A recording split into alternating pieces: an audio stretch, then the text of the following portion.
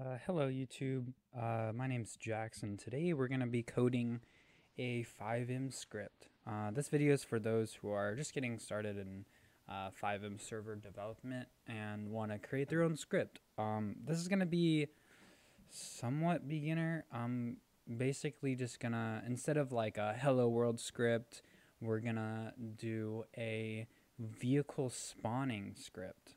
So the way that will work is um, the player will type in a command like slash car, for example, and then whatever car they specify in the argument will be the car that spawns. So if I did slash car uh, slash car Zentorno, for example, it would spawn as Zentorno. And the way that we want it to work is we want the uh, we want the player to be spawned in that car in the driver's seat whenever it gets spawned.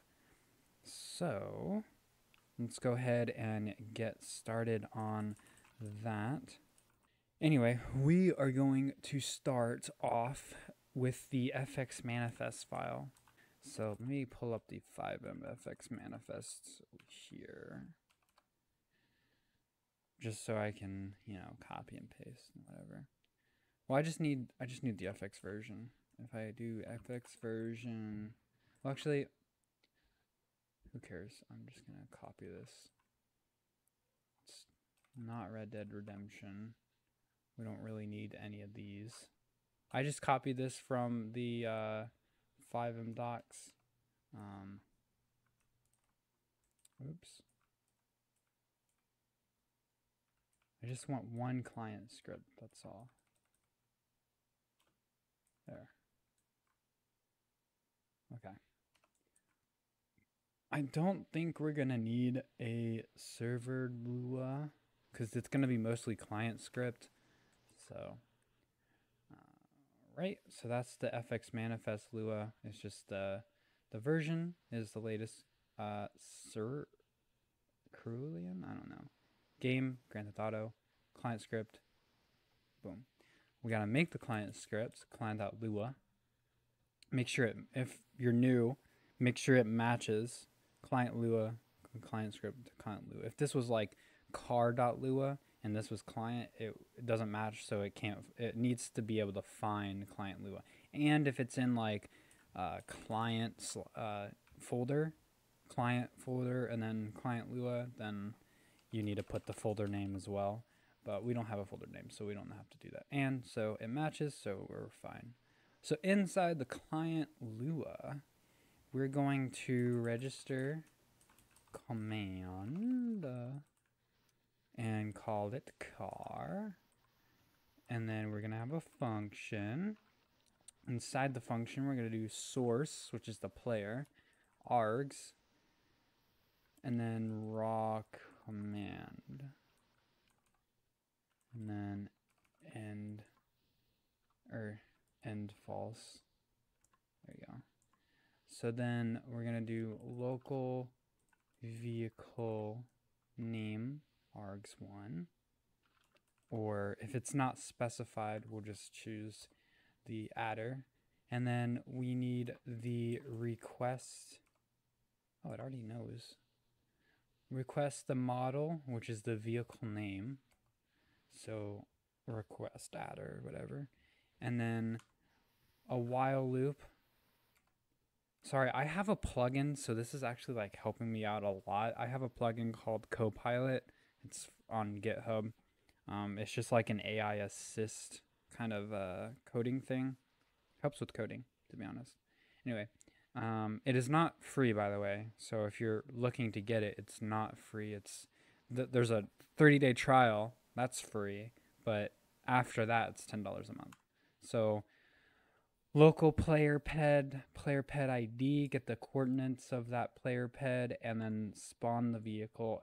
All this is correct. Like this is how. Like if you would rather me type this, I can type it, but it'll it'll just make the video longer I don't really want a long video. So we need a set ped into vehicle. Set ped into vehicle, yeah. Player ped vehicle and then negative one. And then I think set entity is no longer needed. Set model is no longer needed. I'm just gonna trust that. So now that that's really it. So let's go over what it does. So we registered a command. The command is called car. So whenever we type the command, it'll be slash car. It is a function with source, the args, and its raw command. We don't really need raw command. It's just a lot of times I just you just keep it because like in case I guess if in case you want to call raw command, you can. You don't really need it. In fact, I am going to remove it because it's not needed at all, despite what the AI whatever thing says. Here's a variable called vehicle name, and then so the vehicle name is the first argument. So it's going to be slash car space and then the vehicle name. And if it's not specified, if a player just does slash car, it's going to spawn adder. So if that's not specified, it spawns adder. It requests it requests the model, which is the vehicle name. Request that. The vehicle name specified by player or just the adder. Um, if it is not loaded yet, just wait, and then this is just like wait a frame and just keep keep getting the model until it spawns. And then we're gonna do three variables: the player ped, which is the player ped ID. That's the like that's like the client's way of saying source. You know, in server side, the player ID is source, but client side doesn't do source, it does player ped ID. The position is um, of the player ped. So we're spawning the car right where the player is, and then we're going to put the player in the car.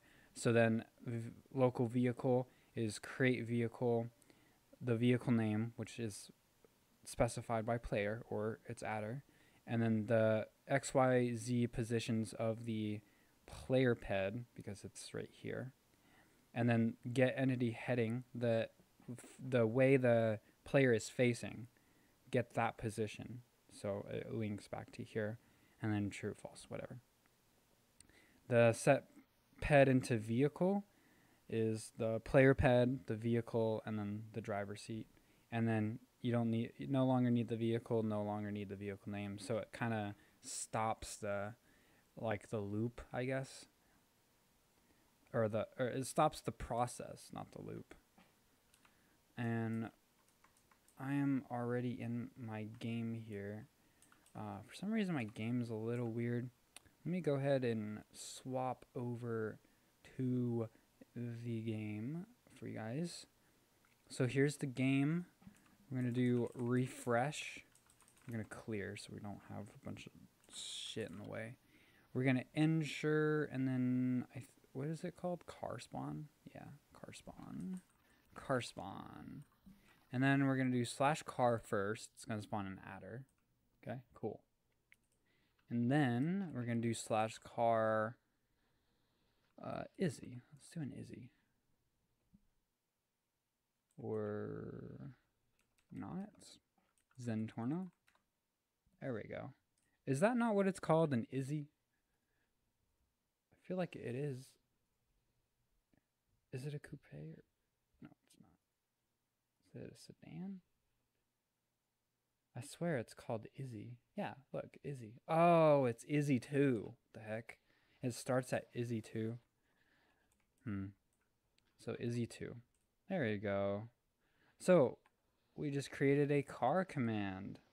If this video helped you guys uh, further your experience in FiveM develop, uh, FiveM script development, uh, please leave a like and uh, subscribe to my channel. Um, because I will be posting more videos about uh, of FiveM coding. I cannot talk today. Oh my god. So if uh, if you guys would like to see more, please drop a like. Uh, please comment and uh, subscribe, and all of that helps out the channel, and it really lets me know to continue doing what I'm doing. Um, also, I wanted to make an announcement. I am streaming that this upcoming Wednesday. I just want everyone to know so I can get people in and watch my stream. It's just going to be a chill stream. I'll play some lo fi music in the background uh, to relax. I'll probably code and maybe play a little bit of a game. Um, who knows? Uh, if anything, I might actually I might play some FivePD on this, um, on my just little local host server, I guess. Or I think I'll play uh, FivePD on a public server. I don't I haven't decided yet. Um, if you want to join my Guilded server, I posted that in the description. Um, that's where I have the that's my community server, and that's where I put my schedule for everything. Um, so if you want announcements and updates on this server, uh, main power, and you want updates on my stream schedule, that's the place you want to be. So uh, that's it for the video. Um, thanks for watching, and goodbye.